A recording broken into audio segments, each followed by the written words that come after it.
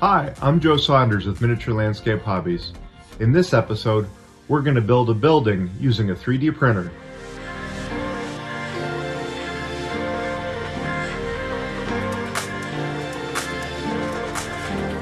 If you like learning about building a miniature, please remember to subscribe.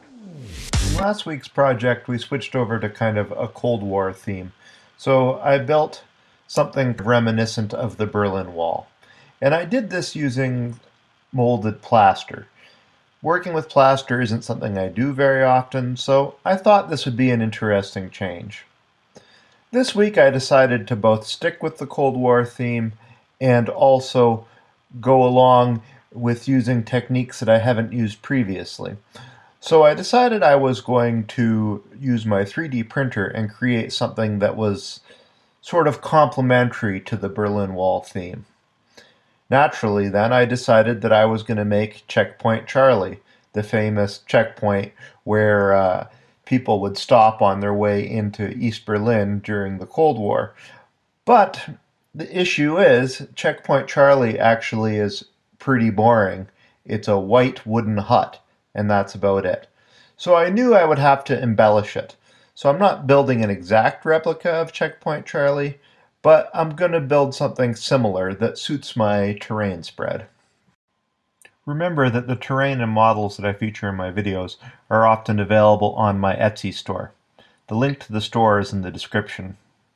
And as a special reward for subscribers to my channel, I'm going to include a discount code at the end of this video. Any proceeds from your purchases will go to supporting the channel. Let's get to it. To start the project, I went to tinkercad.com and began to design the building. So it's a pretty small hut, so I ruled it out to be about 3 centimeters wide by 6 centimeters long. Once I had designed each of the components, I went ahead and exported it as an STL file. Because there were more parts for this project than I had space on my printer's build plate, I had to import them in sections. Here you can see the miscellaneous components, but I also had to do separate prints for the walls, the roof, and the gables.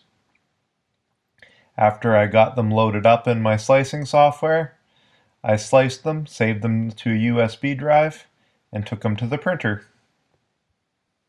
Altogether, it probably took two to three hours to print all the components on my printer. And as they came out, I took them off the build plate and as always cleaned them in rubbing alcohol as per the manufacturer's instructions. Now to be completely honest, I have a bit of a love-hate relationship with my 3D printer. Here's my first iteration of the build and, well, everything came out completely smooth. I guess I made a mistake when deciding how much detail to put on the exterior of the wall sections. Fortunately, my second time around, I did a good job and got the wall sections textured nicely with some wood paneling. At this point, it was time to dry fit the parts, and putting them together without glue, I noticed that a lot of them didn't fit exactly perfectly. So donning my dust mask and getting out my needle files, I began filing the parts until they fit. With the filing done, I wanted to make sure that uh, no resin dust interfered with the gluing process, so I washed each of the components in water and then sprayed them off with my airbrush to both dry them and blow away any leftover residue. While the resin parts were drying, I decided it was time to build the base. So I ruled out the location on the base where the hut was going to go, and I cut the base out to be 9 centimeters wide by about 17 centimeters long. And then I went and ruled in a 1 centimeter by 1 centimeter grid work on the base, and then scored in the grid work using the tip of a pen. This is to create a city street texture that I use on the rest of my urban area of my spread.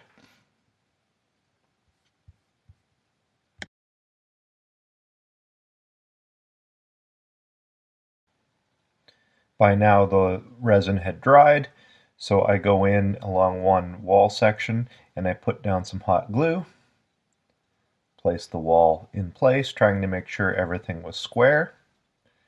Then grabbing a front panel, I ran glue along the seam, along the side.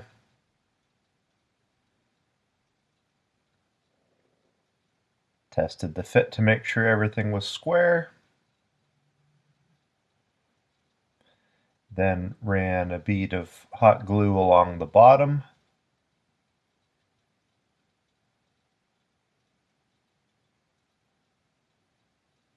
And pushed it back into place so I could let the super glue dry. I then went ahead and repeated all of this with the other wall sections and then applied super glue to the roof tiles and placed them as well. When that was all done, I grabbed some super glue accelerant and I sprayed the model down just so I knew everything was well bonded. Now it's time to build the sandbags to go on either side of the hut. So I grab two cut-offs from some pink styrofoam and these are about a centimeter wide by about 10 centimeters long. I sand them flat and then going two centimeters in from either end I cut 45 degrees through them. I do it on both sides.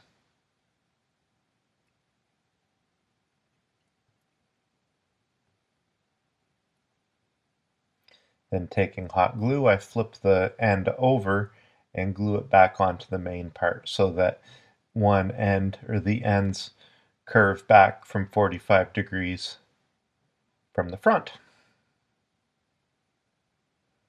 Then grabbing my big file, I round off the edges. I only do this on the top side, I don't need to do it on the bottom. And I cut a step pattern into the ends. And I round those off too.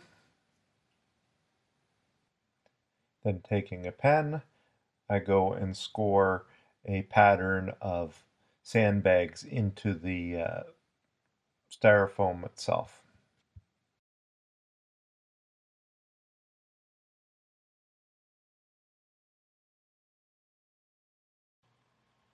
With the sandbags made, I glue them into place at each end of the base.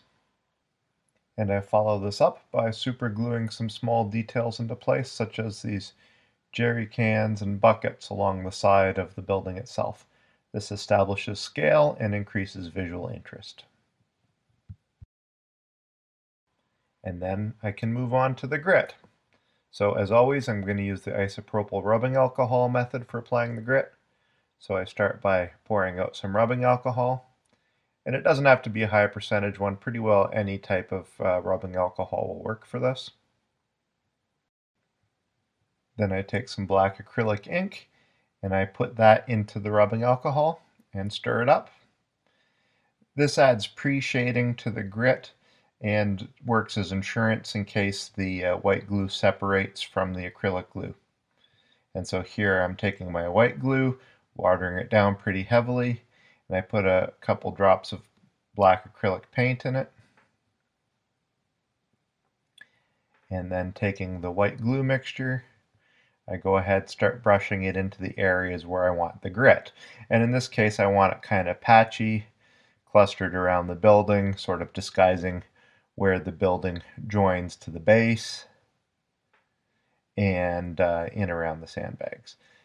Then when the glue is down, I grab my uh, mixture of 80% sand, sandbox sand, to 20% kitty litter, and uh, I start applying it just in rough patches right over top of the glue.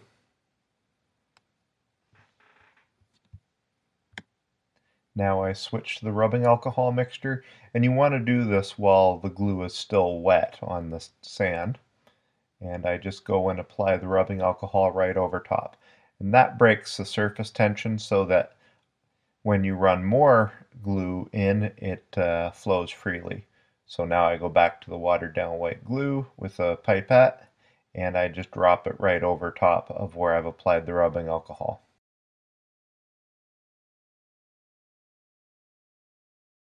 So it's the next day and the grit has dried, everything's stuck down nicely. So I load my airbrush with some black spray primer and I go ahead and prime the model and the whole base. After the primer is dry, I switch to Panzer Dark Gray in my airbrush. Then after that, I layer on some light gray. Then I layer on some white and light gray mix of about 50-50, focusing on the edges of the model. And then finally I go to just a pure white dry brush on the outside to accentuate the details.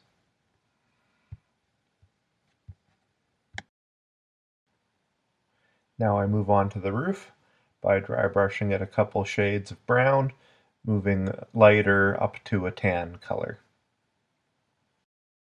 Getting out an enamel dark wash, I move on to shading. And this is really just a, a black or dark brown enamel paint that's been heavily thinned down. And I just dab it into the corners and where the shading is required and let capillary action do the work. Then afterwards I get out a flat brush and some thinner and I erase any mistakes or any tide marks I've created. Going to the base, I dry brush the uh, concrete tiles, a couple shades of gray, first a dark gray and then I move to a light gray. Then with the dark brown, I dry brush the dirt effects and all of the grit where it's built up along the sides of the base and along the sides of the building. And then I move on to a couple lighter shades, always dry brushing, starting with darker colors and moving to lighter colors. As always, a lot of dry brushing wipes out the uh, definition and details. So I pour out some black acrylic ink and taking a fine brush, I go back in and uh, line in the edges of the tiles and around some of the finer details on the base so that they stand out with a little relief to the viewer. was now time to work on the sandbags. So I started with a coat of olive gray.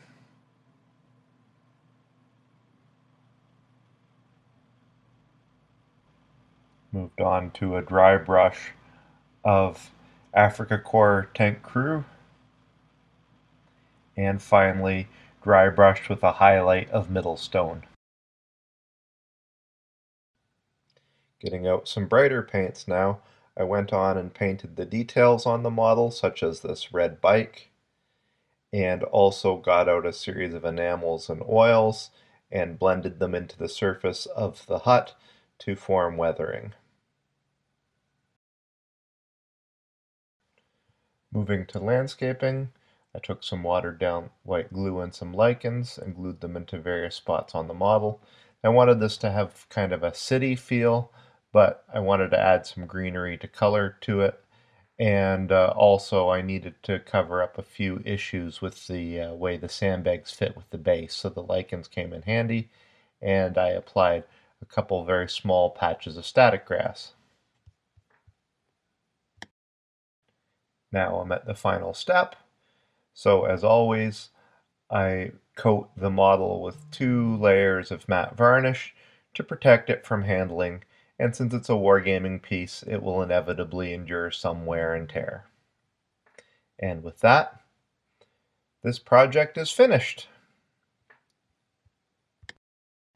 Here's the final result.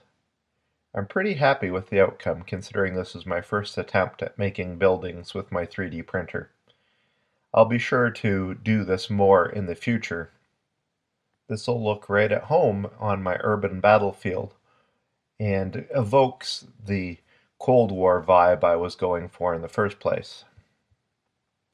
So, as promised, I wanted to offer my uh, viewers something special at the end of this video. So I'm extending an Etsy coupon to my viewers. All you need to do is enter MLH20 off, all in uppercase, or take the link from the video description down below. You can use that to get 20% off anything in my web store on Etsy. That includes a lot of the uh, terrain projects that you see on the channel and uh, some of the models that I've made. So check it out, please. It's a way to support the channel. If uh, Etsy is not your thing, you can also check out my link to my Patreon account, or you can use the supply links below. Anything you do helps support the channel, and it's much appreciated. That's it for this episode. I hope you enjoyed watching it as much as I enjoyed making it. Please stay tuned for new content twice weekly.